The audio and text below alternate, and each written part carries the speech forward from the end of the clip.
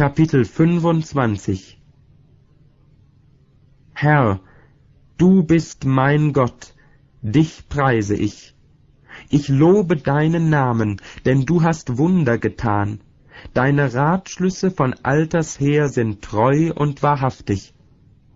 Denn du hast die Stadt zum Steinhaufen gemacht, die feste Stadt, dass sie in Trümmern liegt, die Paläste der Fremden, dass sie nicht mehr eine Stadt seien und nie wieder aufgebaut werden. Darum ehrt dich ein mächtiges Volk, die Städte gewalttätiger Völker fürchten dich.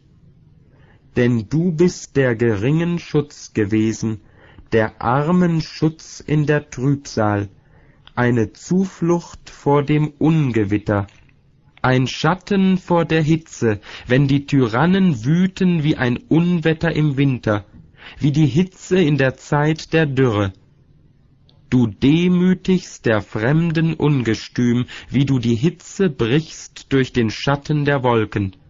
Du dämpfest der Tyrannen Siegesgesang.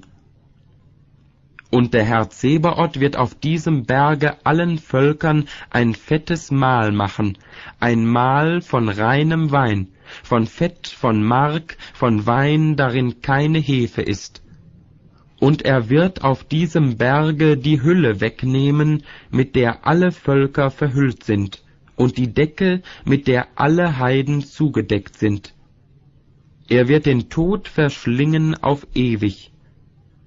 Und Gott der Herr wird die Tränen von allen Angesichtern abwischen und wird aufheben die Schmach seines Volks in allen Landen, denn der Herr hat's gesagt. Zu der Zeit wird man sagen, siehe, das ist unser Gott, auf den wir hofften, dass er uns helfe. Das ist der Herr, auf den wir hofften.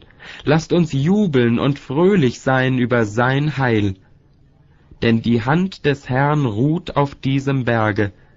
Moab aber wird zertreten werden, wie Stroh in die Mistlache getreten wird und wenn es auch seine Hände darin ausbreitet, wie sie ein Schwimmer ausbreitet, um zu schwimmen, so wird doch der Herr seinen Hochmut niederdrücken, trotz allen Mühens seiner Arme. Und deine hohen, steilen Mauern wird er beugen, erniedrigen und in den Staub zu Boden werfen.